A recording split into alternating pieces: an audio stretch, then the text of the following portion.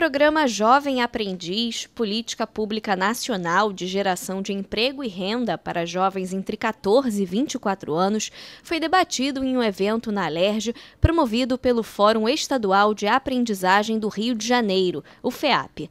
O número de contratos de jovens aprendizes por empresas do Estado está abaixo do percentual previsto em lei e foi um dos desafios destacados pelas autoridades presentes. As conquistas profissionais alcançadas por Yasmin dos Santos Alves são graças a experiências vividas em um programa de contratação de jovens aprendizes. É a própria Yasmin que faz elogios e lembra as oportunidades que teve. Moradora da comunidade de Acari, ela começou a trabalhar como jovem aprendiz aos 17 anos e hoje, aos 20, está formada em marketing. O coletivo CIEDES, hoje que eu faço parte, ele me trouxe muitos requisitos técnicos, está trazendo ainda, que eu comecei o contrato de novo, e comportamental também, eu tive encontro com profissionais lá extremamente valiosos, acho que é muito importante, né, que toda a galera aí da minha idade e até mais novo tenha esse contato. É uma experiência, assim, encantadora, tive um contato ali que eu não esperava, conheci pessoas que me agregaram de uma forma surpreendente, então Hoje é só daqui para frente. Mas as oportunidades de Yasmin ainda não chegaram para grande parte dos jovens do estado.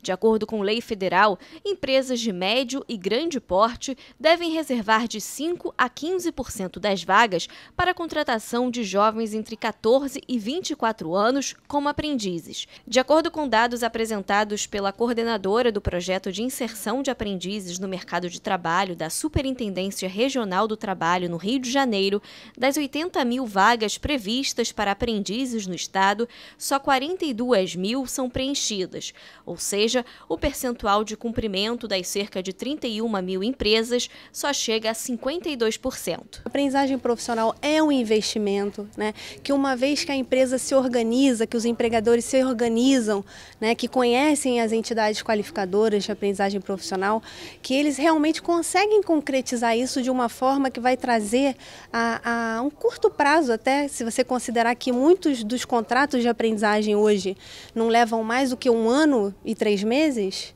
né? Em, em, curto prazo, ele já vai ter um, um profissional dentro da empresa que vai estar tá oxigenando aquela empresa, vai trazer, vai tra está trazendo mais conhecimento né? e, e realmente aprimorando até é, estruturas de trabalho. Além da qualificação profissional, o programa tem como objetivos o combate ao trabalho infantil, a evasão escolar e a redução das vulnerabilidades sociais. Ao dar a oportunidade para um jovem num contrato de trabalho da aprendizagem profissional, a gente vai estar evitando que esse jovem fique à mercê em, em situações de exploração, né? até por atividades ilícitas mesmo. Então é importantíssimo que a sociedade como um todo se dê conta disso e abrace essa causa. A sensibilização das empresas e o aumento da fiscalização foram pontos ressaltados para alavancar o número de contratações de jovens aprendizes. Contratar um jovem aprendiz passa a questão legal né, e, e, e chega na responsabilidade social da empresa. Cada empresa também tem essa responsabilidade com a sua comunidade, com o seu entorno, de dar, oferecer esse tipo de formação profissional, até porque, como a gente costuma ouvir das próprias empresas, esse jovem aprendiz, uma vez formado, qualificado, ele é um empregado de excelente eh, eh, qualificação.